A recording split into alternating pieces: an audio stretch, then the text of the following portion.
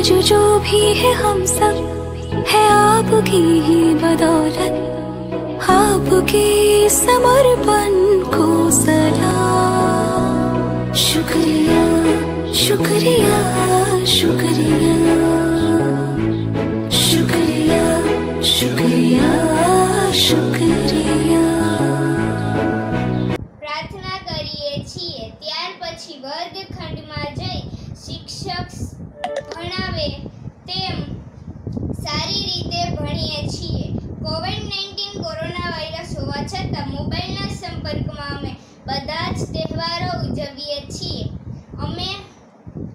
અમે શિક્ષકને કાંઈ પણ ન સમજાતું હોય તો પૂછીએ તો એ અમને સારી રીતે શીખવે છે. આજે અમારી શાળામાં શિક્ષક દિનની ઉજવણી છે તો તેના માટે હું થોડું કહીશ. પાંચ સપ્ટેમ્બરના રોજ ભારતના ભૂતપૂર્વ રાષ્ટ્રપતિ ડૉક્ટર સર્વપલ્લી રાધાકૃષ્ણનો જન્મદિવસ છે. આ દિવસે શિક્ષક તરીકે ઓળખવામાં આવે છે. આપણા જીવનને શણગારવા શિક્ષક એક મોટી અને મહત્વપૂર્ણ ભૂમિકા ભજવે છે. આપણને સફળતા મેળવવા મદદ કરે છે. જેમ કે આપણા જ્ઞાન અને આત્મવિશ્વાસને વધારે છે. એક માણસના જીવનમાં સૌથી વધુ મહત્વ શિક્ષકનું હોય છે. કારણ કે શિક્ષક તેના વિદ્યાર્થીના જ્ઞાનનું એકમાત્ર સહાયક હોય છે શિક્ષક એક એવી વ્યક્તિ છે જેના દ્વારા આપણા જીવનનું ઘડતર થાય છે. શિક્ષક એક એવી વ્યક્તિ છે જે આપણને સાચી સલાહ આપે છે. મા બાપ તો લાડમાં ને લાડમાં બાળકના ઘણા દોષો માફ કરી દે છે. પરંતુ શિક્ષક તેને ટોકીને, સમજાવીને, ઠપકો આપીને કે સજા આપીને તેને એક સારી અને એનાથી પણ સારી વ્યક્તિ બનાવવાની હંમેશા કોશિશ કરે છે શિક્ષક આપણને સારી રીતે ભણાવે છે શીખવાડે છે અને સારી વસ્તુનું જ્ઞાન આપે છે thank you A B C M A to Z સુધીના અંકોને ચલ કહેવામાં આવે છે. એવી જ રીતે અચલ, તો કે એ one two three four five એમ અસંખ્ય સુધીના અંકો, એટલે કે માઇનસ એક માઇનસ બે માઇનસ ત્રણ માઇનસ ચાર, એ પણ આવી શકે. તેને અચલ કહેવામાં આવે છે. તો વિદ્યાર્થી મિત્રો, આપણે તેનો દાખલા દ્વારા મહાવરો કરીએ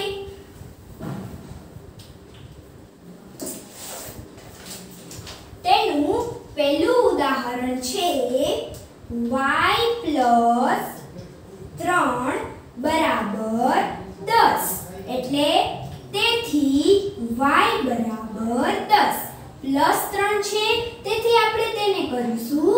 માઇનસ ત્રણ.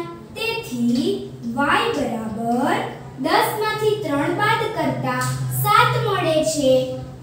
તેથી y બરાબર સાત. આ આપણો ફાઇનલ આન્સર છે. હવે આપણે બીજું ઉદાહરણ જોઈએ. ચૌદ વાય માઇનસ આઠ બરાબર તેર. ચૌદ વાય બરાબર તેર. માઇનસ આઠ છે, તેથી આપણે તેને પ્લસ આઠ કરીશું.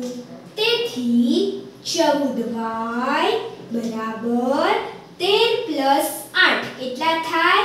એકવીસ. તેથી વાય બરાબર એકવીસના છેદમાં ચૌદ. આપણે તેનું અતિશંસી પ્રૂફ કાઢીશું. સાત તેરી એકવીસ સાત દુ ચૌદ. પછી આપણે તેના છેદ ઉડાડીશું. તેથી વાય બરાબર ત્રણના છેદમાં બે. તે આપણો ફાઇનલ આન્સર છે.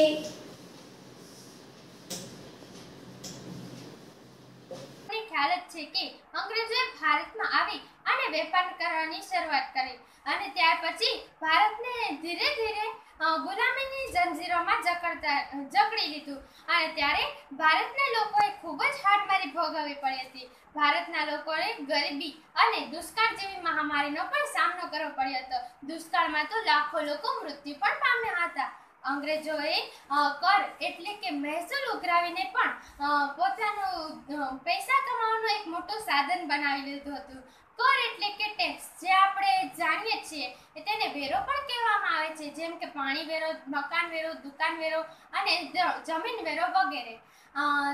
તેઓ અંગ્રેજો લોકો પાસે એટલો કર ઉઘરાવતા કે લોકો પાયમાલ જ બની જતા અને ક્યારેક તો ખેડૂતો પાસે એટલો બધો કર ઉઘરાવતા કે ખેડૂતો પોતાની જમીન અથવા તો પોતાના દાગીના વેચીને પણ તે ભરી શકતા નહીં. ભરી શકતા નહીં. ભારતની ભારતની સમૃદ્ધિ છેક અઢારમી સદી સુધી યથાવત રહી હતી. વિશ્વના ઇતિહાસકારોએ પણ કબૂલ્યું છે કે અઢારમી સદી સુધી ભારતની ઉત્પાદન ઉત્પાદન પદ્ધતિ તેમની તેમની તેમના ઉદ્યોગો અને તેમના ઉદ્યોગો અને વેપાર વાણિજ્યનું સંગઠન વેપાર વાણિજ્યનું સંગઠન અજોડ હતું. એટલે કે તેમની ગણના કરવામાં ગણના કોઈની સાથે કરી શકાતી ન હતી. ગાંધીજી સરદાર વલ્લભભાઈ પટેલ, ચંદ્રશેખર આઝાદ અને ભગતસિંહ જેવા મહાપુરુષોના બલિદાન અને તેમના સંઘર્ષને અંતે આપણો દેશ પંદરમી ઓગસ્ટ ઓગણીસો સુડતાલીસના રોજ આઝાદ હેલો ફ્રેન્ડ્સ આઈ એમ દિયા હું સિક્રેટરી સ્કૂલમાં ધોરણ આઠમાં અભ્યાસ કરું છું. આજે શિક્ષક દિનની નિમિત્તે હું તમને સાયન્સના થોડા ટોપિક સમજાવીશ સૂર્યમંડળના કેટલાક અન્ય સભ્યો પહેલા લઘુગ્રહ વિશે જાણીશું તે મંગળ અને ગુરુની વચ્ચેના જેટલા નાના નાના કણો છે, તેમ તે લઘુ, તેને લઘુગ્રહો કહે છે. આ લઘુગ્રહોને એસ્ટરોઇડ્સ કહે છે. તેને ટેલિસ્કોપની મદદથી જોઈ શકાય છે. બીજો છે ધૂમકેતુ. ધૂમકેતુ સૂર્યમંડળના જ સભ્યો છે. તેઓ સૂર્યની આસપાસ લંબવૃત્તીય પરિભ્રમણ કરે છે. તે સૂર્યની સમયગાળો સામાન્ય રીતે ખૂબ મોટો હોય છે. તેને સામાન્ય રીતે ધૂમકેતુ એક તેજસ્વી શીર્ષની સાથે લંબાઈ ધરાવતી પૂંછડી જેમ સૂર્યની નજીક જાય છે, તેમ તેની પૂંછડી લાંબી લાંબી થતી જાય છે. ધૂમકેતુની પૂંછડી હંમેશા સૂર્યની વિરુદ્ધ થઈથી લાંબી થાય છે. ઘણા ઘણા ધૂમકેતુ નિશ્ચિત સમયગાળામાં દેખાય છે. જેમ કે રેડીનો ધૂમકેતુ તે દર છોતેર વર્ષે દેખાય છે. તે છેલ્લે ઓગણીસો છ્યાસીમાં દેખાણો હતો. હવે તમે કહી શકો છો કે રેડીનો ધૂમકેતુ ફરી ધૂમકેતુ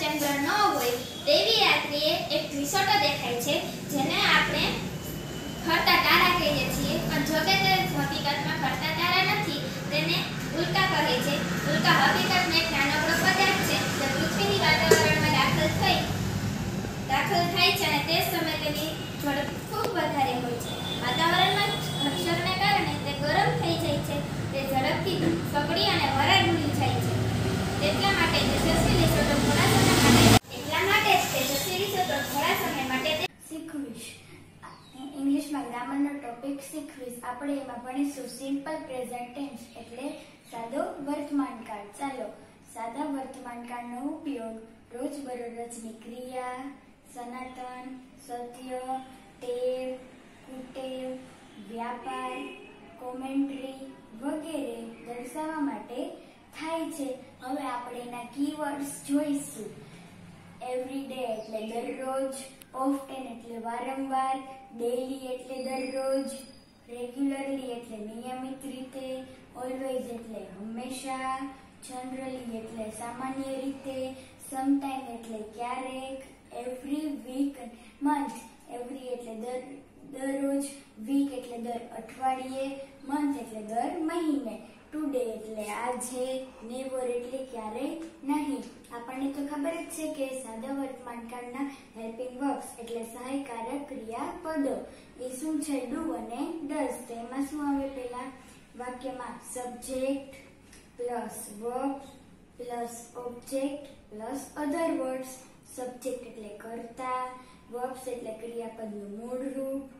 ઓબ્જેક્ટ એટલે કર્મ અધર વર્ડ્સ એટલે અન્ય શબ્દો. હવે આપણે એને સિંગ્યુલર અને પ્લુરલ જોઈએ.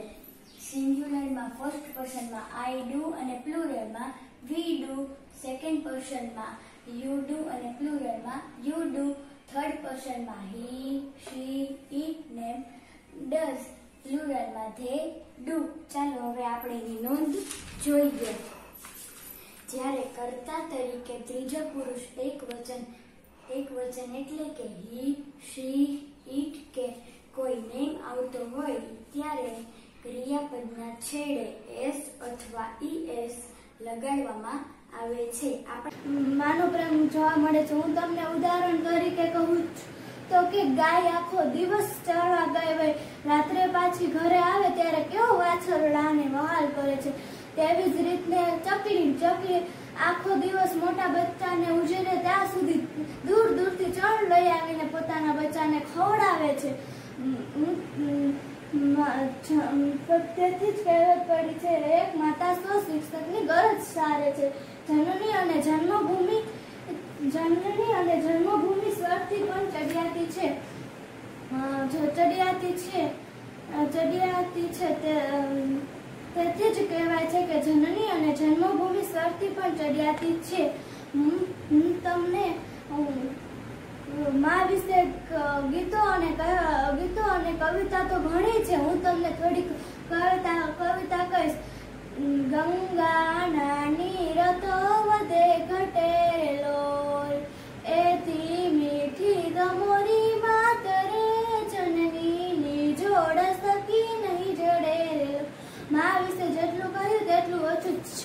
નમસ્કાર નમ- નમસ્તે